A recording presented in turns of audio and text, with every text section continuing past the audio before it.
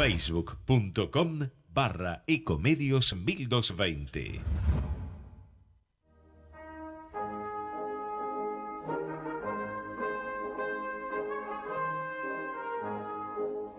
Aquí damos comienzo a Italianos y sus negocios, un programa dedicado a la promoción de negocios de empresas italo-argentinas, a las oportunidades comerciales procedentes de Italia, inversiones, productos, música, entrevistas y buenos negocios.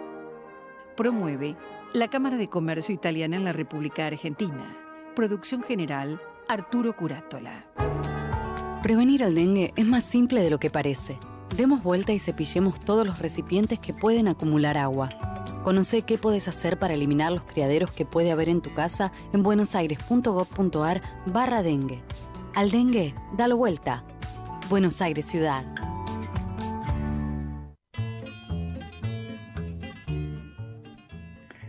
Estimados oyentes, tengan ustedes muy buenas tardes.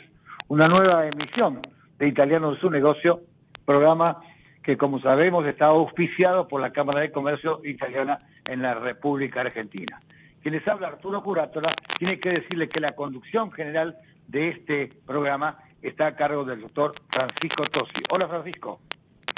Hola Arturo, ¿cómo estás? Muy buenas tardes a todos.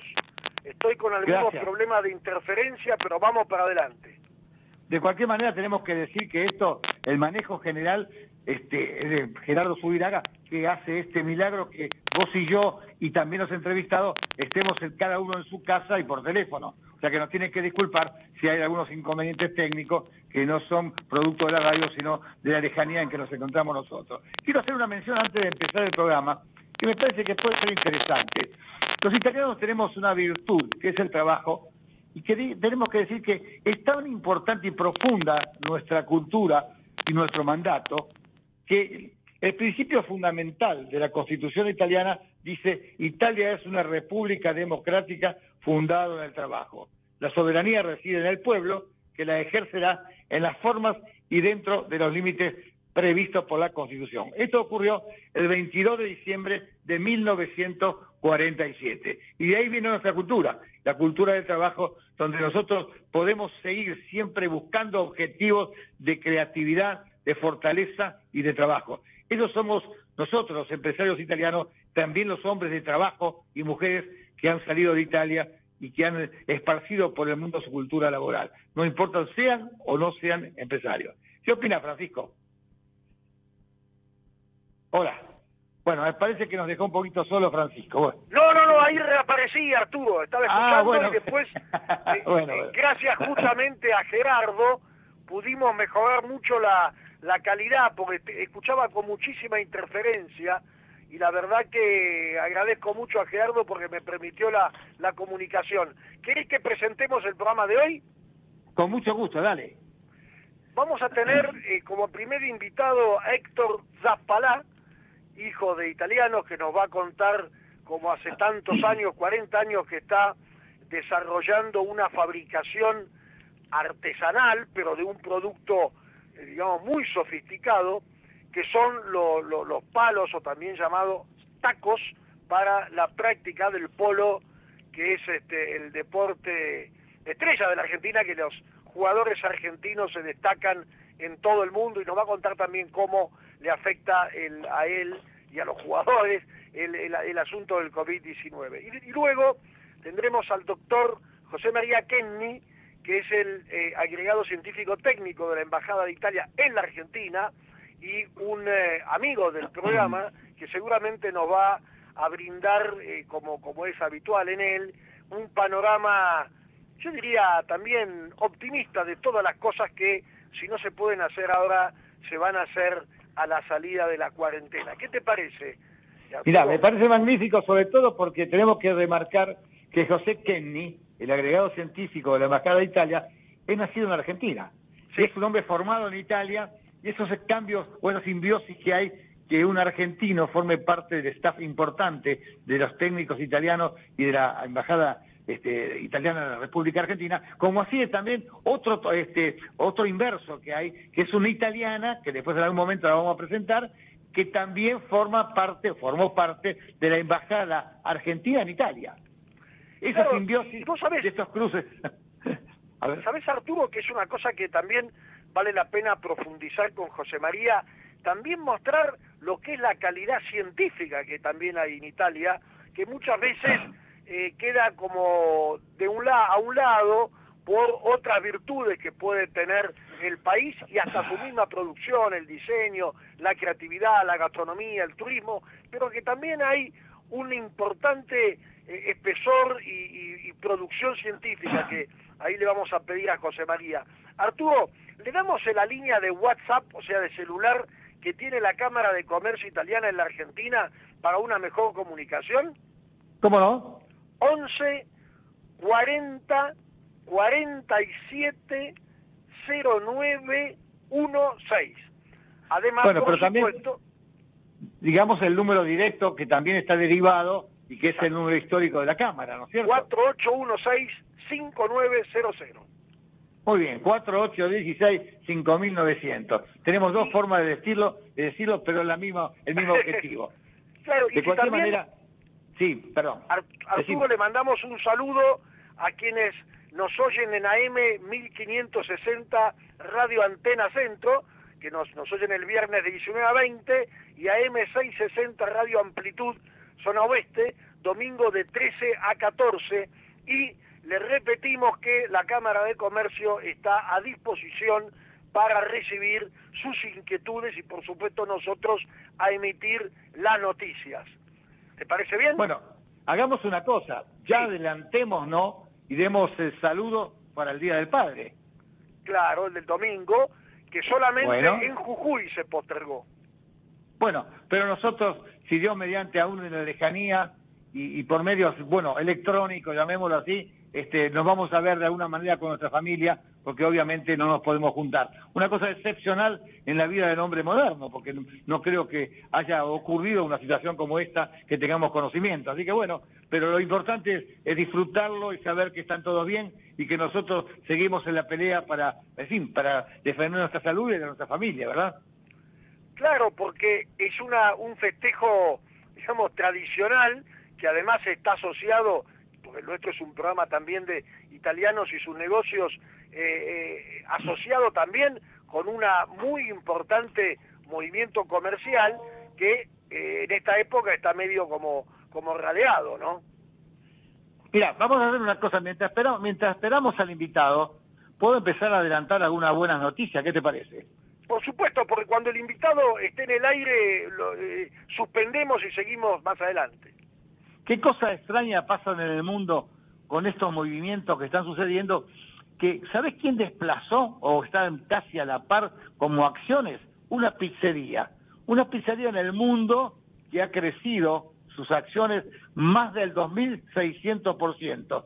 Se trata de el caso de Domino's Pizza, el cual superó a Google con todos sus buscadores. Es algo impresionante que en un sistema de venta haya hecho que, bueno, que una pizzería este, supere la tecnológica, ¿no es cierto? Claro. También que, por ejemplo, en esta cuarentena, cuatro mil, perdón, cuatro mil pymes se subieron al mercado libre para mantener sus ventas. Y lo han hecho muy bien. O sea, están superando, están creciendo poco a poco a través de las ventas por Internet. Por ejemplo, un, un, un trabajo eh, que, que ha sido un récord hace pocos días, que se trata de un dragado en Villa Constitución, que se hizo en siete días cuando realmente se debería haber hecho normalmente en un mes. Lo hizo Jean Delul, que concluyó la obra del dragado en Villa Constitución. Digamos que el dragado lo hizo una máquina Álvaro Núñez Cabeza de Vaca en un plazo de siete días, un tiempo récord, considerando que una draga convencional le llevaría alrededor de un mes.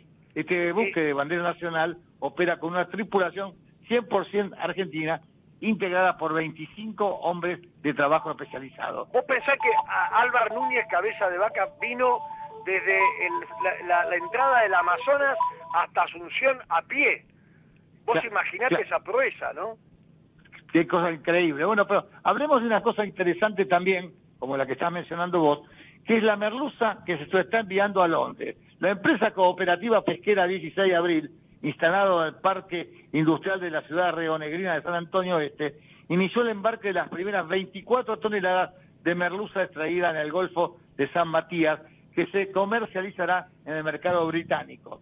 Digamos que es un hito histórico para la comunidad portuaria debido a que es la primera, la primera exportación que se tiene por destino la ciudad de Londres. Me parece que es Merluzón más que Merluza, pero de cualquier manera es importante. Bueno, y también los compradores de Italia. Un grupo de productores neuquinos concretó el envío a Italia de 20 toneladas de nueces producidas en la provincia patagónica. La exportación se concretó a través de 10 empresas de la localidad de Picún, Leufú, asociadas por segundo año consecutivo para colocar su producción en el mercado externo. Arturo, tenemos al invitado en línea. Perfecto, entonces adelantémonos con él. Adelante, te lo dejo Buenas tardes, Héctor Zapalá, ¿cómo está? Buenas tardes, muy bien, ¿ustedes? Muy, bien, gracias, señor.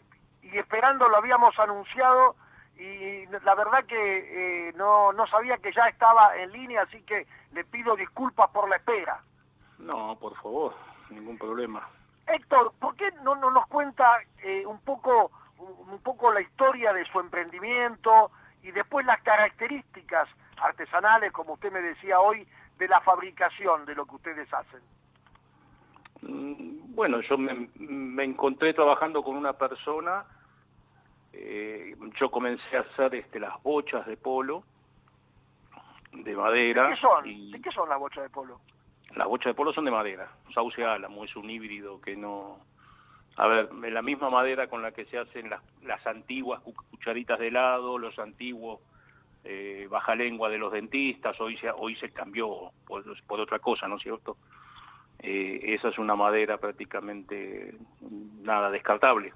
Pero tienen una pintura más que nada por el, peso, o algo así, ¿o el peso y el tamaño, ¿cómo me decías? ¿Tienen una pintura porosa o algo especial? Sí, después va, va bañada en, sintético blanco, en malte ah. sintético blanco. Pero usted fabrica, eh, empezó fabricando eso, me contaba. Yo empecé fabricando esto y hay una persona con la cual yo me había juntado para trabajar en esto que él hacía y reparaba, fabricaba y reparaba tacos de polo. Que, pero de esto estamos hablando hace 40 años atrás, ¿no? Y después este, esta persona, eh, muy reacio con su oficio, mm, este, no, no lo quería expandir y falleció, falleció muy joven y, y yo mirando lo que él hacía, bueno, comencé a seguir yo haciendo lo que él, lo que él hacía y, y nada, hoy, hoy tengo una pequeña pyme de la cual trabajo, eh, mis tres hijos trabajan y yo más un personal de ocho personas en total. Como, como usted fuera un gran, un gran pintor del Renacimiento, que aprendían con un maestro y después se independizaban de alguna manera, ¿no? digamos que me vi como obligado a independizarme.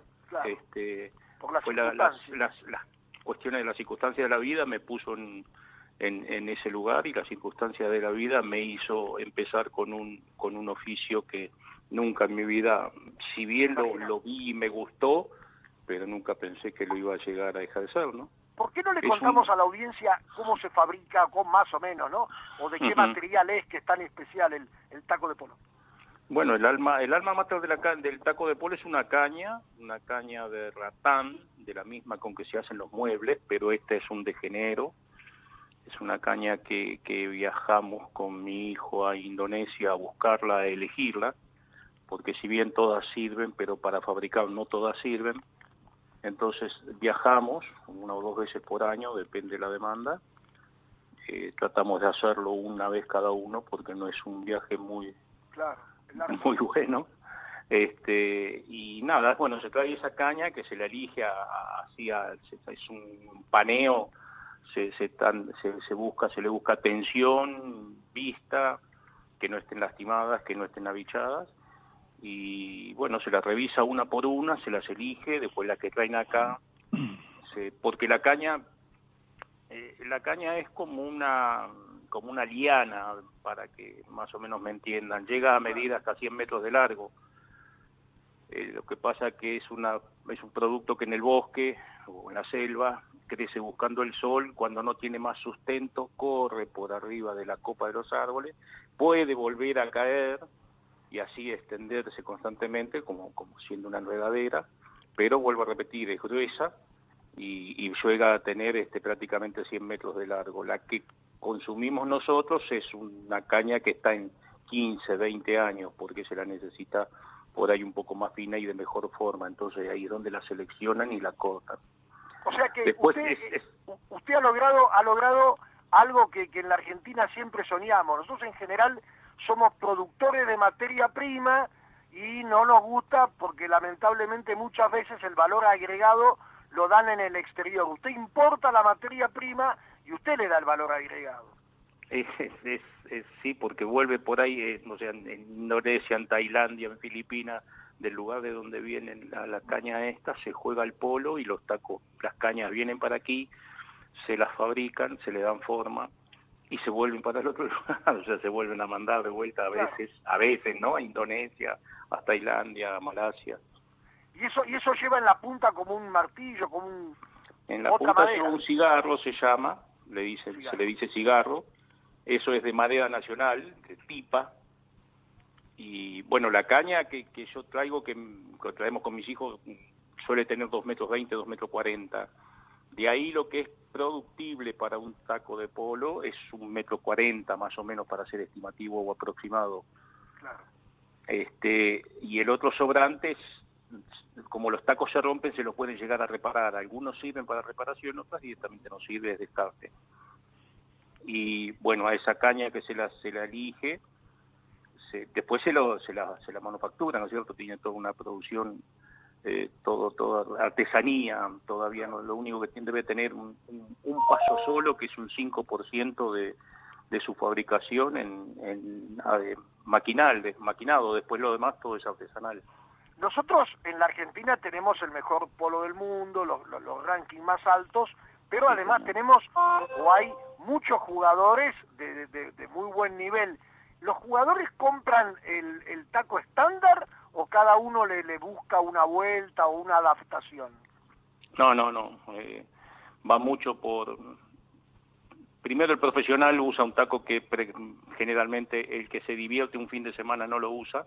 Ah y, después es muy personalizado, o es muy personal, hoy está muy personalizado, porque también tiene la empuñadura, va acorde a lo, a lo que le gusta al agarre del polista, el peso del cigarro, que es lo que hace que la caña cimbronee, que es lo que hace que la caña despida, que es lo que hace que la pelota vaya lejos, puede variar sus pesos, entonces hay personas que usan tacos más blandos, tacos con menos, eh, más rígidos, este, más pesados, más livianos, es muy personalizado. Hoy por hoy está muy, muy personalizado.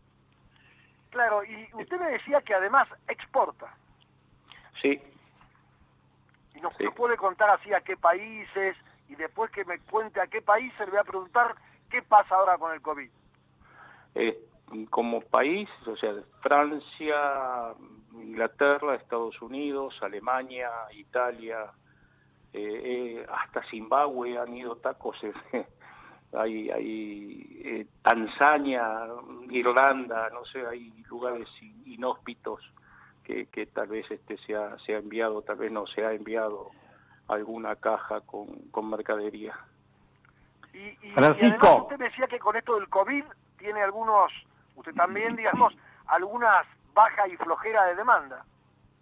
Y, eh, o sea, o sea, nosotros en el polo tenemos una, es un trabajo muy, muy de temporada.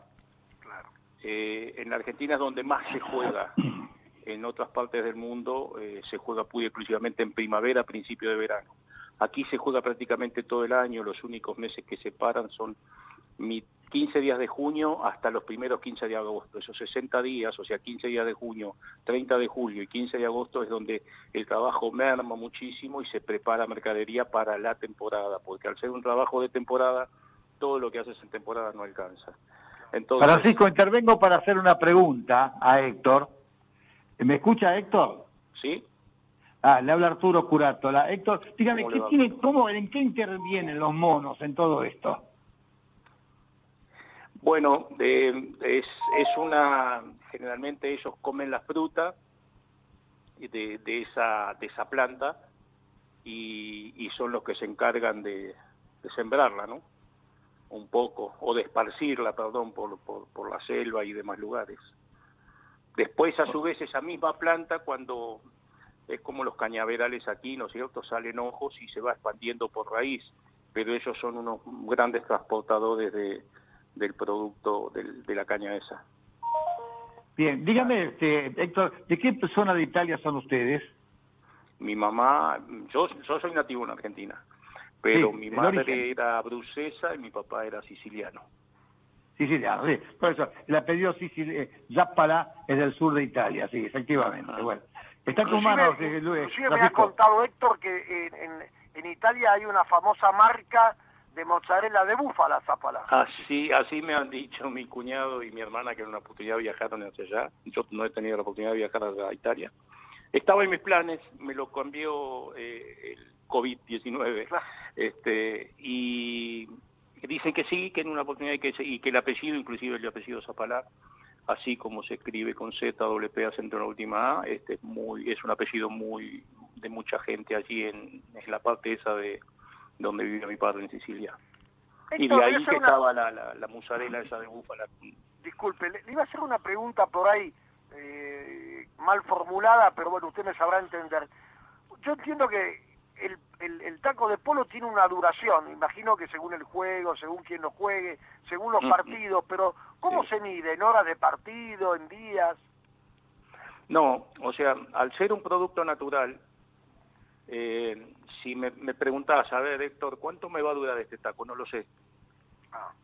Porque puede, no sé si es porque le faltó agua, le sobró agua, le faltó sol, le sobró sol. Hay cañas que siendo muy similares, nunca encontramos, o sea, yo siempre digo que puedo fabricar millones de tacos, nunca voy a fabricar dos millones, un, taco igual al otro. Ah, o sea, lo puedo fabricar parecidos, pero no iguales. Al ser un producto natural, no puedo decirte cuánto va a perder de, de densibilidad, cuánto va a cuánto va a durar, cuánto va a, despedir ese taco. Esas son cosas que, eh, afuera, eh, abajo del caballo, como decimos nosotros, se mueven todos como un, porque el polista le busca una, una torsión al taco y quiere que todos sean más o menos en el mismo peso y en el mismo movimiento. Pero cuando le van a meter horas de trabajo, horas de juego, de trabadas y demás cosas, hay tacos que ceden más y hay otros que mantienen su, su performance. Pero eso eh, no lo puedo saber, vuelvo a repetir, es un producto natural y no, eh, no hay máquina que pueda llegar a medir eso. Y otra, otra pregunta, a través del tiempo, no sé, pienso en Andrada en los años 30, ¿ha, evolucionado o siempre ha sido igual el taco? Mm, no, no, ha evolucionado muchísimo, ah. muchísimo desde que, desde que estoy como fabricante y, yo siempre le digo lo mismo a mi hijo, eh, va a seguir evolucionando muchísimo más, o sea... ¿Pero por qué? Eh, ¿Hay, ¿Hay incorporaciones tecnológicas o, No, no, Francisco, era un deporte que hace 10 años atrás no era profesional, era amateur, hoy es profesional. Entonces este, hay, hay este, cosas que, que, se tienen en cuenta, ¿no es cierto? Que, que, que hacen la necesidad de, que sea así, ¿no es cierto? O sea, antes, no sé, si, si lo tuyo es amateur y jugás el domingo en, en tu chacra, eh, que el taco sea pesado, blando, duro, no, te cambia mucho. No te cambia la vida. En cambio, si, si tu vida va en eso, porque es tu oficio, eh, y viajas por el mundo demostrando lo que sabes jugar, este, entonces le entras a buscar detalles ¿no es cierto? Que, que, lo, que, que, le den más a tu, a tu gusto. ¿Y eso se trabaja, se trabaja en conjunto con el jugador, con la asociación, o, hay, o, tiene competencia? ¿Cómo, es ahí la oferta de los tacos de polo? La oferta de los tacos de polo, o sea, hay alguna casa más, hay una, no hay muchas casas, eh, las dos o tres más que hay están en la Argentina, no hay en el mundo, eh, y si hay uno en el mundo, hay uno en Estados Unidos y es argentino. ¿Y es argentino? y es argentino, que ha trabajado en otra casa. Este, entonces, este, hace, y después depende mucho también de, lo que, de, cómo interpretas, o sea, yo, yo digo mucho que cómo interpretas a tu cliente, ¿no es cierto? O sea, tengo yo que tratar de, de complacerte. Claro, o sea que usted está en permanente contacto con todos los mejores jugadores porque ellos a su vez quieren lo último y lo más novedoso. Sí, por suerte sí, es algo que no delegan. Como es, el, como es lo que es el es la herramienta de trabajo de ellos, entonces no lo delegan. no, no, no lo mandan a buscar ni nada por el estilo, lo quieren ver ellos, lo quieren elegir ellos, lo quieren tener ellos, lo quieren sentir ellos. Sí, tengo la suerte de, de, tener, o sea, eh, no es un trato cliente golondrina, es un trato muy, muy, es de muy personal y directo. Sí, che, pelado está, bueno, ponete la pava que voy. ¿Pelado le dice? Sí, porque tengo una cabellera abundante.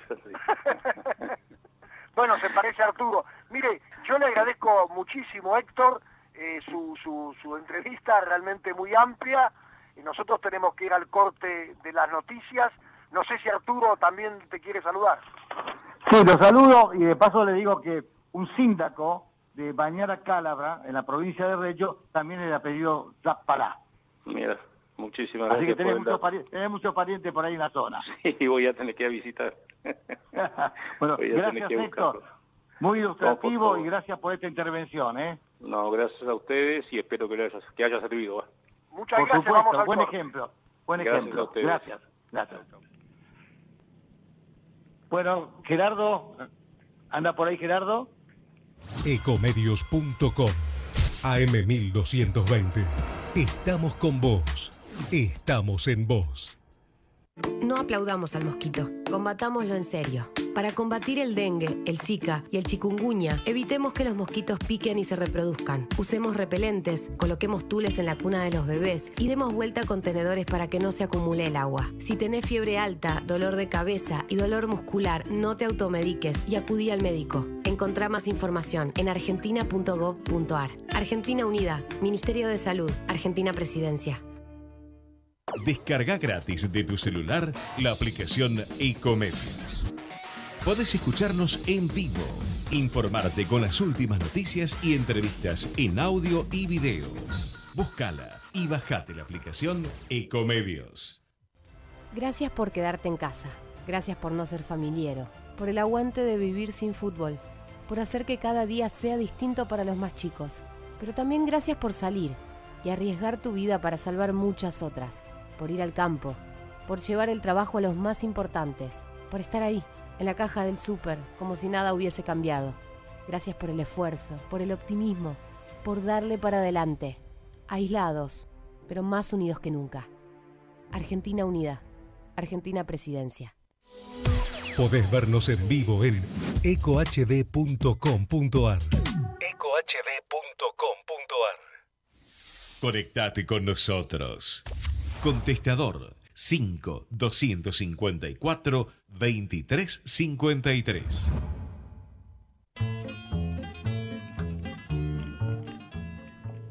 Mientras esperamos a José Kenny, ¿qué te parece si seguimos con algunas noticias? Perfecto, Arturo, adelante. La Universidad de Buenos Aires fue elegida la mejor universidad de América Latina. ¿Qué tal? Si bien fue en el puesto 66 en mundial, pero en América Latina ocupó el primer puesto. Digamos que en esta clasificación global de este año se ubicaron al podio tres universidades estadounidenses, pero en América Latina la primera, la primera fue la Argentina. Bueno, decime, ¿qué pensás vos de la transformación de las empresas? Te voy a dar una extraña, mira, la cervecería y maltería Quilmes usó los ingredientes que usaba para hacer cerveza para hacer pan y alcohol. Es una palabra, transformó su industria, digamos, por el momento, y puso un plan, un marcha un plan de donar agua, alcohol sanitizante, en coordinación con organizaciones sociales y centros de salud. ¿Y qué hizo? Pan, y lo fue donando y trabajando. O sea que cuando hay voluntad de cambio, siempre todo se puede. El nuevo consumo como eje en casa, digamos, online, ajustado, eh, digamos, en lo que es actualmente vivir casi encerrado, digamos que el comercio electrónico minorista creció un 54% en cantidad de pedidos y un 111% en facturación desde abril. Hubo un fuerte avance de los pagos electrónicos. Ahora, los días del padre, que ya cerca, como ya lo mencionamos, hay un gran crecimiento de las ventas online y delivery. Realmente la cantidad de locales cerrados este, hace que los, eh, los comerciantes busquen otra manera de apuntalar las ventas, ¿no es cierto? Y una de las cosas interesantes fue, ¿qué pasó con Argentina en el boom de negocios? Bueno, uno de ellos fue los videojuegos y los sports. Según informe de Cantar y, Telecom, El crecimiento del consumo entre las franjas etarias, así como la comercialización de los diferentes títulos y competencias, ha crecido tremendamente. En Argentina, la mitad de los jóvenes menores de 24 años son usuarios regulares de juegos online. El Kun Agüero, viste, el futbolista, se convirtió en una estrella de los sports. Sus redes superan los 750 mil seguidores. ¿Qué consejo le puedes dar a una empresa para que vaya preparándose para el post-pandemia? Bueno, dicen que para sobrevivir a una crisis como esta, o incluso tratar de crecer en ella, es muy importante tener a la empresa funcionando con alto grado de eficiencia. Esto no solo significa mejores procesos, sino también enfocarse en los negocios o productos en los que la empresa genera mayor labor. Digamos que para ello es necesario planear, eh, proyectarse, mirando el país y al mundo que viene y determinar una estrategia tal que permita que el empresario pueda avisorar un mundo distinto y una empresa distinta. Arturo, ¿te puedo interrumpir un minuto? Con gusto. Justamente con lo que estás diciendo ahora, de la transformación digital para una mejor gestión empresarial, es exactamente lo que mañana viernes 19 de junio a las 10 y media, la Cámara de Comercio Italiana está promoviendo, que es un webinar que se llama, de vuelta, Transformación Digital para una mejor gestión empresarial. Teoría y práctica de una metodología innovativa que mejora nuestra productividad. Actividad dirigida a managers, propietarios de empresas, gerentes, gerentes de relaciones humanas, de investigación, team leaders, y realmente es una, una de las cosas, de las tantas cosas, que lo vamos a ir a tratar, o tratar de ir diciendo durante el programa, que organiza la Cámara de Comercio Italiana, en este caso, junto con la Cámara de Comercio Italiana de Rosario, eh, desarrollada por eh, eh, Fausto Marzi, principal consultor en Ericsson Telecomunicaciones, Localizar, que hemos tenido también nosotros aquí en esta entrevista, Archivar, o sea, un conjunto de empresas que desarrollan la tecnología digital, se juntan con cámaras de comercio italianas y producen un acontecimiento que permite a una cantidad de personas que se quieran inscribir estar expuestos a estos nuevos conocimientos. ¿Qué te parece eso, Arturo? Muy bien, ¿por qué no les recordamos los teléfonos donde pueden, inclusive, si hay alguna duda, comunicarse? Bueno, 4816-5900 y celular 11-404-70916 y damos, damos la bienvenida, ya lo iba a decir en italiano, damos la bienvenida a José María Kenny. Buenas tardes. Buonasera, buonasera. ¿Qué tal? ¿Cómo estás? ¿Cómo estás, Giuseppe? ¿Bene? Arturo Curato le saluda. ¿Qué tal Arturo? ¿Qué tal Francisco? Sí, todo bien. Un gusto estar con ustedes. Muy bien. Eh, José María, eh, un poco te, convocamos y vos siempre muy generosamente eh, nos llamás y, estamos en contacto, un poco para, para, para actualizarnos sobre el panorama de estos proyectos que vos has hecho en temas espaciales, en temas de, digamos, de colaboración de la Universidad de Buenos Aires que antes citaba Arturo, que ha sido eh, con una, sigue teniendo reconocimiento como una universidad de excelencia y universidades italianas. Por supuesto. Bueno, digamos, mi función como agregado científico en la Embajada de Italia es obviamente seguir todas las relaciones que podemos establecer entre instituciones italianas e instituciones argentinas y obviamente tenemos algunas prioridades, en el sentido que hay algunos proyectos que ya se han establecido desde hace varios años y que merecen un seguimiento más específico. Este, como decís bien, el, proyecto más importante que tenemos es el proyecto espacial, donde no se trata de, o solo no se trata de construir satélites, sino fundamentalmente de utilizar los satélites para, digamos, el bien de la población.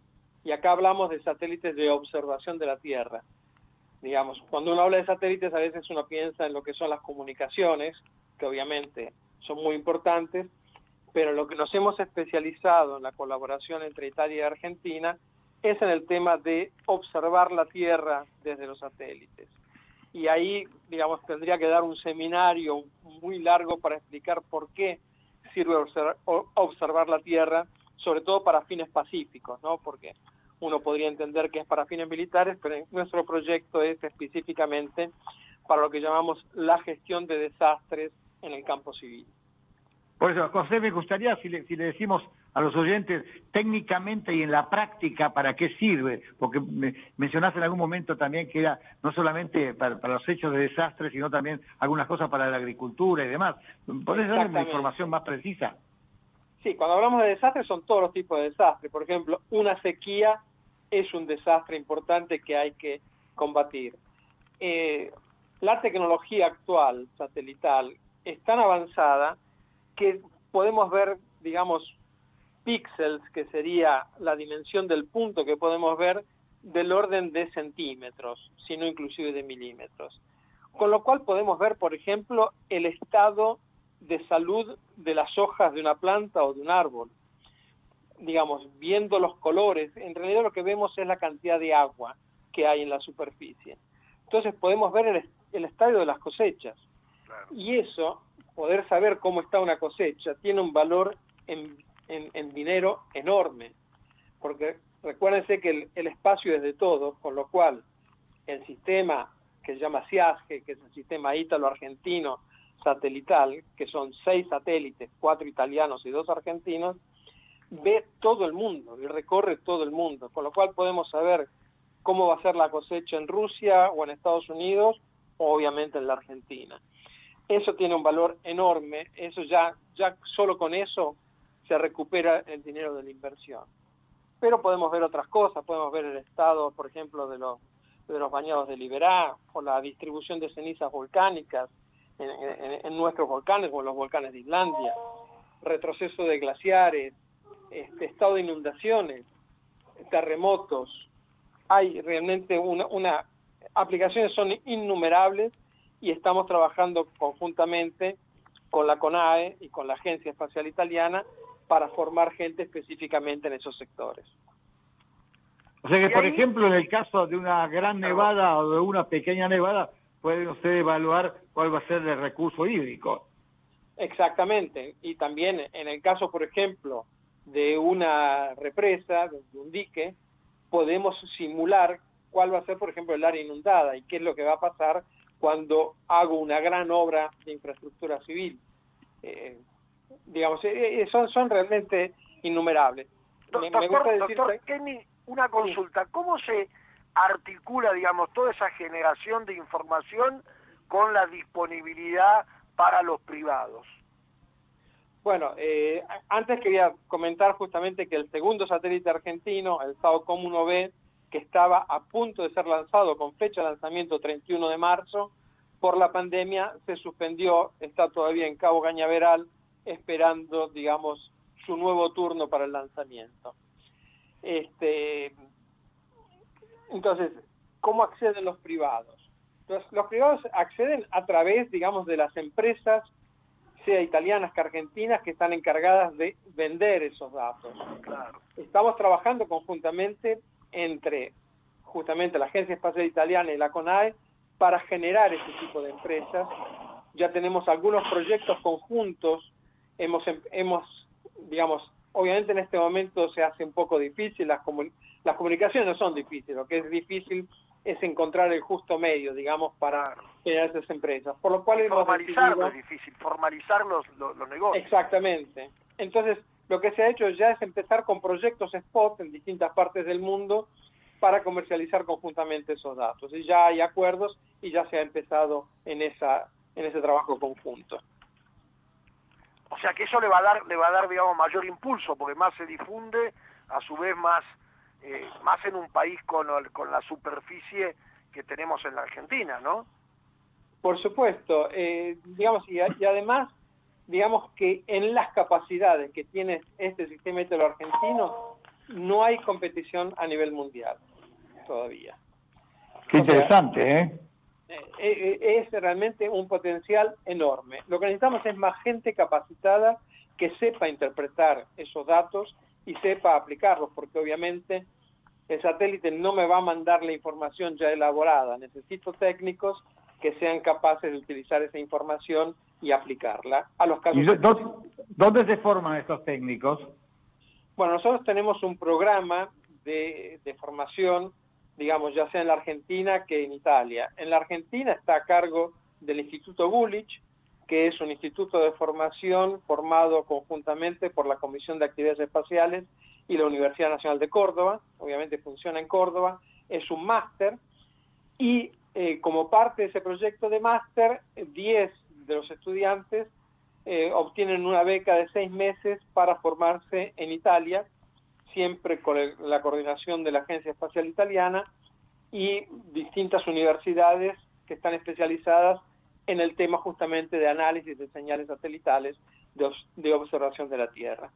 En este momento hay, si no me equivoco, seis becarios argentinos en Italia, de algún modo bloqueados por la pandemia, pero que están realizando estos estudios de perfeccionamiento. Tengo que decir que en los últimos 10 años, o poco más de 10 años, hemos formado casi 100, digamos, profesionales eh, argentinos eh, con becas en Italia de nuestro Ministerio de Relaciones Exteriores. ¿Cuál es la base, la base, digamos, de la diplomatura que tiene que tener para acceder a esa beca?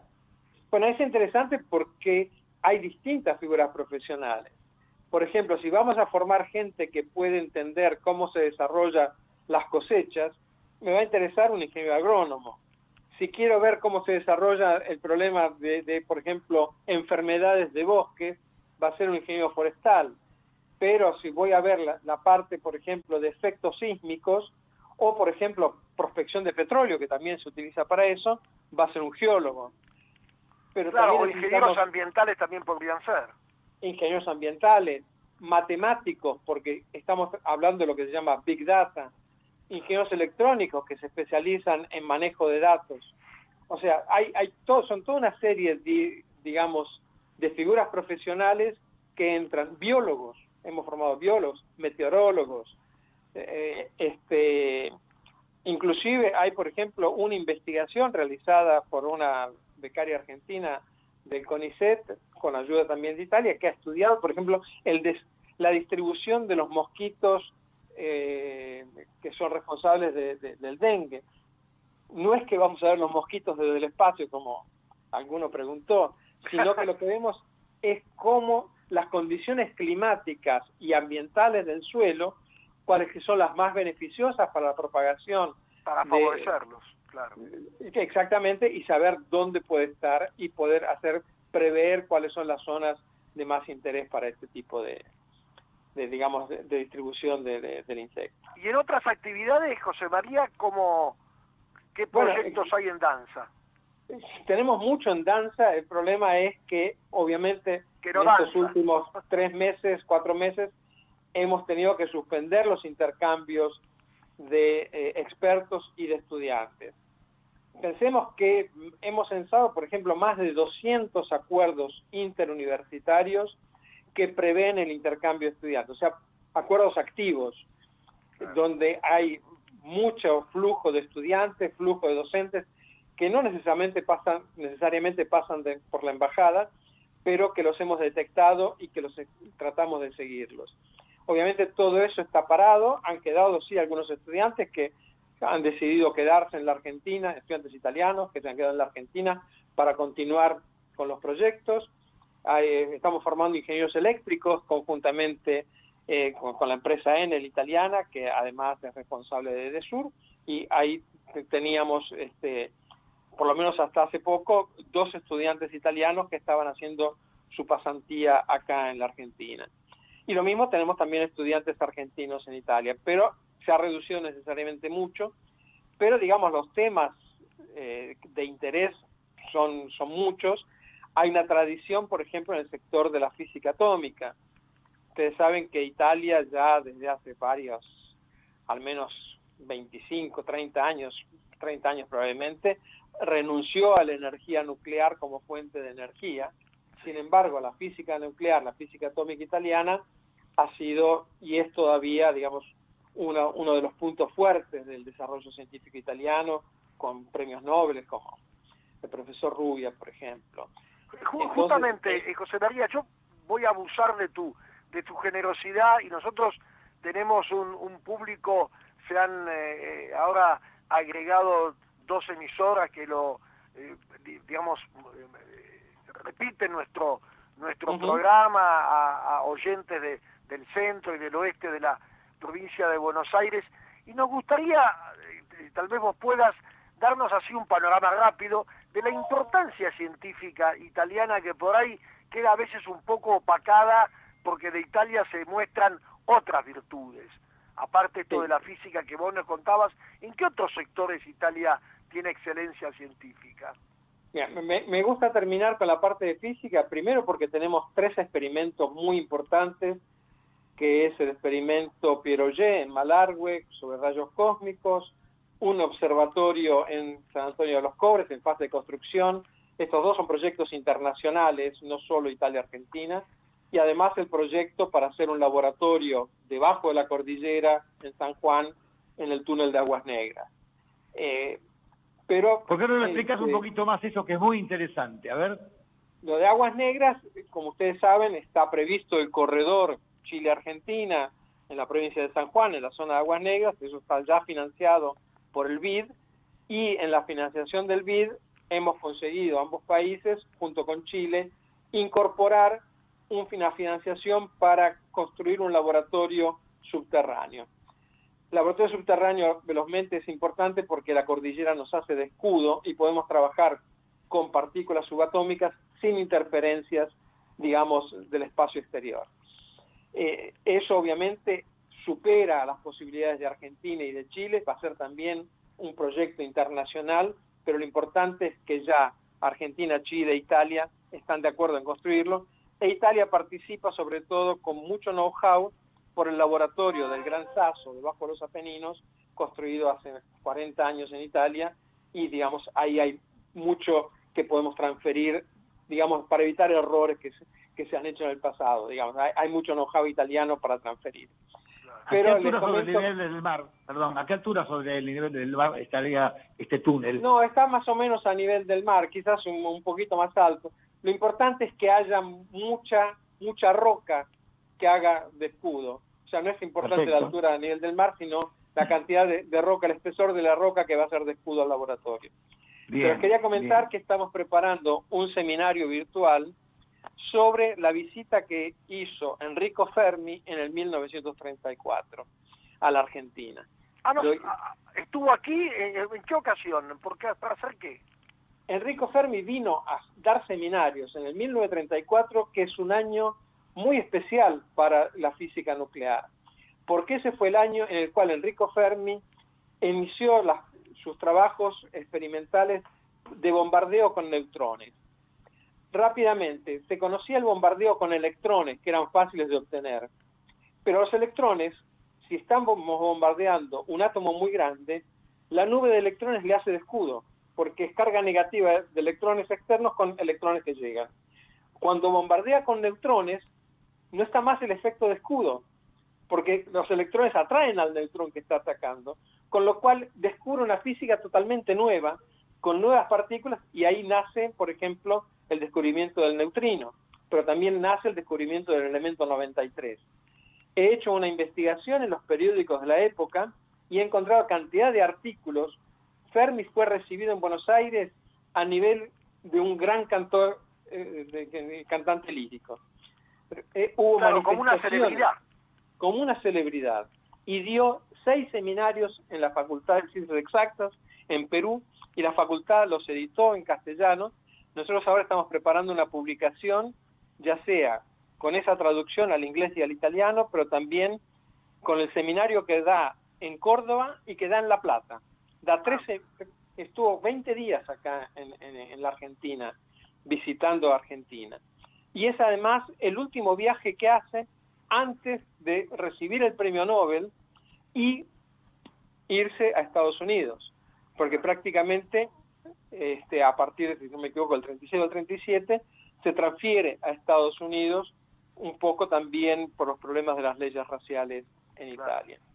Con lo cual tenemos, digamos, eh, queremos estamos preparando un seminario con físicos argentinos y físicos italianos para recordar esa visita que pocos conocen, Eh, yo cuando llegué acá había escuchado que alguien me lo dijo, no lo creía, empecé a buscar información hasta que me fui a los periódicos, me fui a la, Facultad de Ciencias Exactas, donde yo me recibí acá en Buenos Aires, y el decano este, fue muy gentil y me encontró perdido la publicación de las lecciones de Fermi. Realmente Qué rescate importante, ¿no? Creo que es muy importante y bueno, eh, ahí nace, digamos, la física nuclear, Además hay un caso anecdótico muy interesante que es de un estudiante de Fermi que está considerado un genio superior inclusive a él, que fue Héctor Mayorana. Héctor Mayorana, claro. Que desaparece, en, este, ya había eh, desaparece en el 36 o 37. En el mar, creo, ¿no? Bueno, no se sabe dónde desaparece y hay algunas leyendas que lo ubican en Buenos Aires. Así que estamos también trabajando con algunos investigadores italianos y argentinos para ver si encontramos trazas de la presencia de Héctor Majorana. Pensemos para los que saben de física que en su momento el principio de Heisenberg se llamaba principio de Heisenberg-Majorana, porque lo habían desarrollado juntos. O sea, es, realmente una, una personalidad de la física y son creo que los fundadores de la física nuclear italiana que tantas, digamos, satisfacciones ha dado al mundo científico.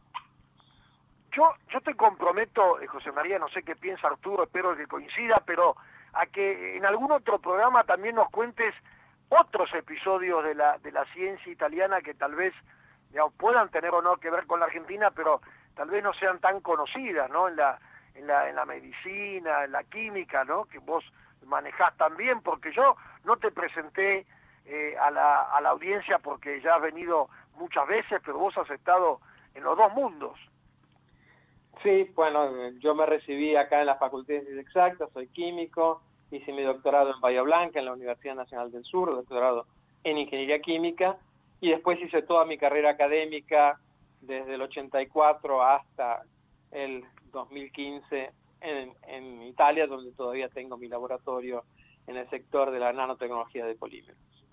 Claro, así que yo realmente, no sé si Arturo tenés alguna pregunta, pero abusamos del tiempo de, de José María ya eh, bastante. No, pregunta es, directamente uno se sorprende con estas noticias, nosotros estamos en conocimiento, las audiencias generalmente no, cosa que hacemos muy bien en divulgar este trabajo conjunto, conjunto importante entre Italia y Argentina. José es un hombre que lo hace con una simplicidad total y una humildad que da lugar a que nosotros no solamente tengamos que felicitarlo, sino que escucharlo con detenimiento, porque todo lo que informó hoy es para el pueblo argentino en su gran mayoría.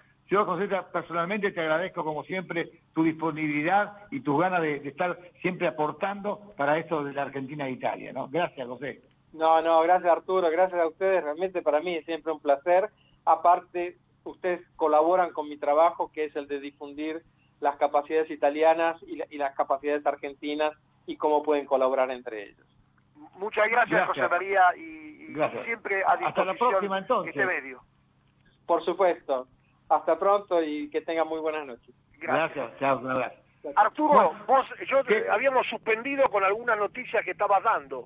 No, claro, eh, di bastante, pero es un privilegio escucharlo a José realmente, ¿no? Con, con, una simplicidad lo dice. Bueno, Vamos a pasar algún aviso también. En la Cámara Italiana hay, este, empresarios que pretenden encontrar a proveedores de cocinas a leña para participar de un concurso internacional. Son cantidades importantes. Así que si alguno tiene noticias de fabricante de cocinas a leña, puede comunicarse con la Cámara al 4816-5900. Como viene el Día del Padre, quiero saludar a algunos amigos que han saludado, que han llamado por teléfono para decir que son escuchas. Uno de ellos, Hugo Lauría de Marcos Paz, Roque Bodoné de Villa María, Pino Parisi de Roma, que nos escuchan permanentemente y bueno, y nos mandan saludos, este, que, que, les agrada el, programa, cosa que a nosotros nos llena de satisfacción. Sí, hay otras cosas más, por ejemplo, que nos quedan unos minutos, ¿verdad? Un par de minutos. Nos quedan dos minutos. Perfecto. Bueno, China, que tiene su socio comercial ávido, que es un mercado, como todos sabemos, de 1.400 millones de habitantes, tiene 420 millones de personas, digamos, en clase media, que demandan los productos de Argentina y que estamos tratando de equilibrar la balanza de pagos. Fíjate que los números han crecido las exportaciones en este primer trimestre del año 1.210 millones de dólares. Creció el 4,4% las exportaciones argentinas. Digamos que esta clase media es importante y está ávida de todos los días de productos. Todavía el saldo exportador entre Italia y China, perdón, hay un negativo de 1.003 millones que esperamos que se pueda ir comprando, eh, cambiando de poco a poco. En compras directas, netas, digamos que China compra 110 mil millones por año de productos agrícolas, llegando en algunos momentos a 200 mil millones, cosa que es interesante. Pero ya que hablamos de China, tenemos que decir que se están dando cosas interesantes. Por ejemplo, la atracción de China empuja a exportaciones de economías regionales, esas economías que están bastante optimistas pese a todo lo que, lo que está pasando. Por ejemplo, las, las uvas de, digamos, de, vinos exportables subió el 50% al exterior y Río Negro se prepara para dar un salto de volúmenes en exportaciones de frutas. Interesante el tema. La demanda china, china suma a futuro otro dato alentador que llega desde Europa. Como hay dificultades en la movilidad de los, de los trabajadores en Europa, ellos no pueden, eh, digamos, recoger las cosechas como se hacemos nosotros, y entonces la demanda viene para este lado. El envío, por ejemplo, de limones a Hong Kong. Tenemos que cortar. Ya nos corta. ya nos corta. Qué amarrete que es el tiempo. ¿eh? Y, vamos a agradecer a la audiencia, nos comprometemos a hablar de las informaciones de Italia, del plano colado y todo lo que teníamos en el próximo programa, y agradecemos también a Gerardo por la paciencia que nos ha tenido hoy con las conexiones. Perfecto, y saludamos a todos los oyentes en el Día del Padre. Un abrazo para todos. Un abrazo. Hasta el próximo programa. Prevenir al dengue es más simple de lo que parece.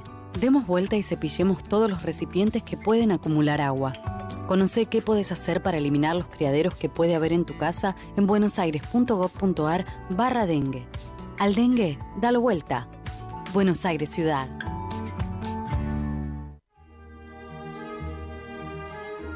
Aquí finaliza Italianos y sus negocios. Nos reencontraremos en siete días a la misma hora para informarnos sobre proyectos y negocios de empresas italo-argentinas.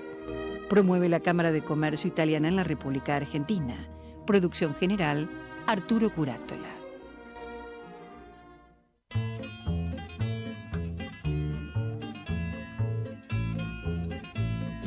Desde Buenos Aires, transmite LRI 224.